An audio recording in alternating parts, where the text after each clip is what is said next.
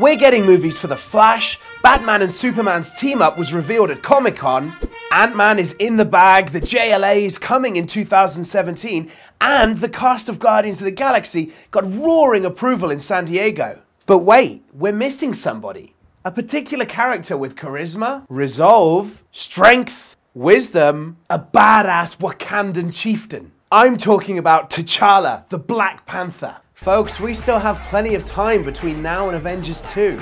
It's time to fast track the Black Panther into the Marvel Cinematic Universe. And I have three reasons why. I mean, of course I do. This is Will's War, and I want your superhero movies to be awesome. The first reason we need to see Black Panther in his own movie is simple. It sets up his induction into the Avengers. We've already seen the Easter egg of Wakanda on a screen at the SHIELD headquarters in Iron Man 2. Also, Captain America's shield is made from vibranium, which is only found in Wakanda. We need to talk.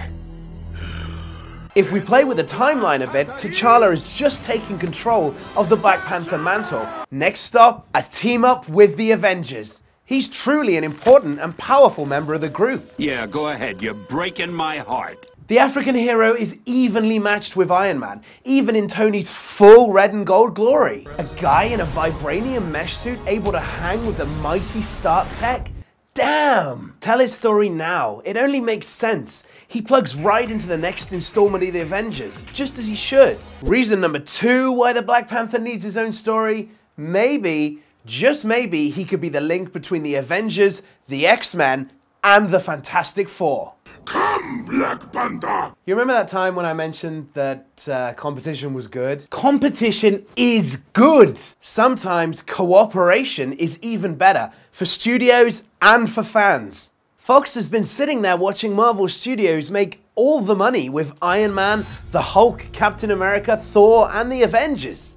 It's time to make a deal with Marvel and get in on that sweet cash cow action, guys. The Black Panther on his ceremonial walkabout before taking control of the nation of Wakanda meets and eventually marries none other than Ororo Munroe, who would eventually become Storm from the X-Men.